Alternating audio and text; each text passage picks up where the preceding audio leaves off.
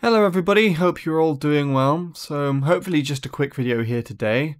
Um, if you're watching this, I assume you're already more than aware that the VWii on the, your Wii U comes with these three channels by default. We got the Wii U menu channel that if you launch it, it just restarts the console and so it loads back into the Wii U menu side of things. We have the Wii System Transfer, where you would use this if you want to transfer all your game data and stuff from your Wii to the Wii U. And then a Wii menu electronic manual. It's basically just a, a manual about the Wii side of the console because if you got a Wii U and not a Wii, then you don't actually have this by default.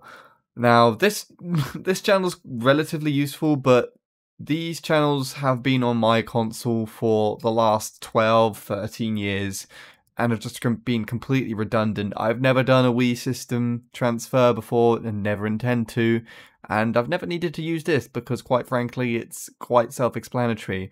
Um, however, while I was testing out some other mods on my Wii U, um, I've figured out a way just with playing around with a few homebrew apps how to actually remove these channels if you want to. Well, that goes for any channels here um, for that matter. And so I thought I'd do a quick recording just to talk about how I did that. Now, uh, full disclaimer, I am not a modder by any means. I just follow video tutorials and guides where and when I can. So if this isn't the best way of doing this, or if there is literally like a homebrew app that you just click on once and it just removes these for you, just any way that's easier or safer, um, please do let me know. Uh, this is again is just something that I did while messing around, and I thought it'd be kind of worth documenting just in case someone else doesn't want these. And from a little quick Google search, I couldn't find another way to do this. So um, yeah, I will show off how I figured out how to do this. Okay, so first things first, you can actually find the two homebrew apps from the description of this video. So if this is something that interests you at all, then I will leave a link to that in the description as well.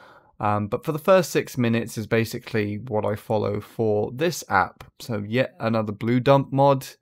Uh, we'll go down until we see the zip file download, which is quite the ways down it seems, here, and then we can just download the file.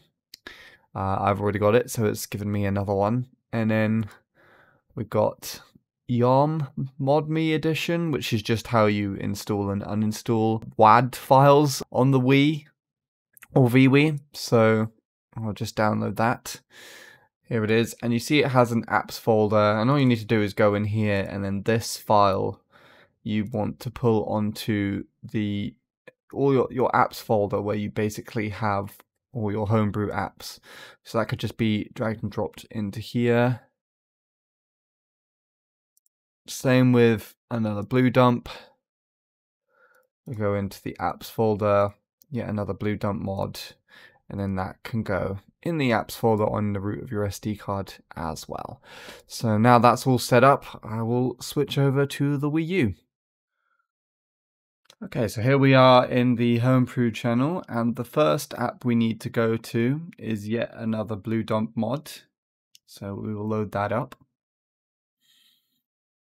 It will, we've got to press A to access the hardware. It'll take a little bit of time. Okay, so we currently only have an SD card and no um, external USB drive, so it just loaded straight in here.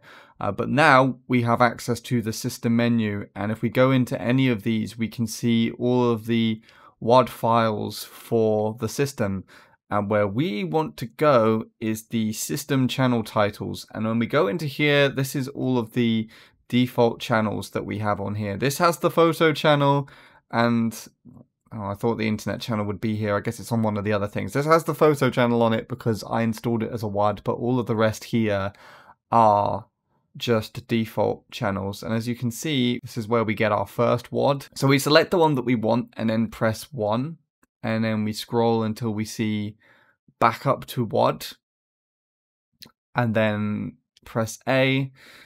It says, do you want to fake sign the ticket? I press A do you want to fake sign the TMD? Press no. And if it has another option, you just press B again, and um, it is now dumping the WAD on the SD card. So what this app will do is it will create a new folder on the SD card for the WADs to go into, and then it will dump them all in there. Okay, and then it's complete. That's the name and where it's currently saved. So keep that folder in mind that it should just be on the root and then we can carry on. Okay, so I'm currently using a different Wii U to the one that I tested this out on, so I think a Wii system transfer was actually performed on this. So Wii system transfer is actually in the installed channel titles, and that is where the internet channel is on here as well. Um, so again, uh, same thing as before. Press 1, go over to WAD file, a, B, it has asked me, do you want to change the output WAD region? This modifies the ticket and or TMD. Press no for that. And then again, it's doing the same thing. It's taking the WAD file and it's putting it on the SD card. And by default, again, there, it puts it into this folder on the root of the SD card. And that is the name that it's given it. And there we go. So now we are done for this part. So now we can go back to the homebrew channel and load up the other app. Okay, so now back onto the Homebrew channel, we now go into this app. And what this does is if you have any WADs on your SD card, it will allow you to install or uninstall them.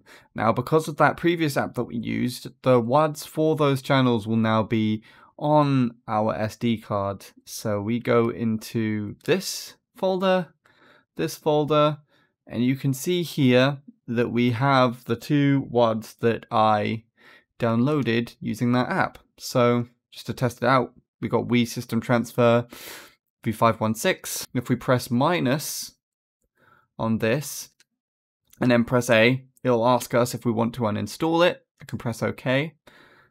And it's uninstalled. We can do the same for the Wii menu manual. Press A, and there we go. And these are both on the SD card still, so if you wanted to add them back to your Wii U for whatever reason, you can do so. Or even you could take them to an actual Wii um, if you wanted to try that out as well. Uh, but now that is done, and if we now exit back to the system menu, we should see that there is no longer a Wii System Transfer channel or Wii menu or Wii manual channel. There we are. Two blank spaces as indicated by the uh, TV static. It is currently nowhere to be seen on this channel. So there you have it. That is how you uninstall any of the system channels really that you don't want on the console anymore. I hope this was helpful. Again, if there's anyone that knows of a much quicker and safer solution to this, uh, then please do let me know. Because again, I am not a modder. I just follow other video tutorials and written guide. I was just playing around with this and I just figured this out and I thought I might as well document in case someone else really needs to do this for whatever reason. So thank you everybody for watching. Hope you enjoyed it and I shall see you again when I next do so.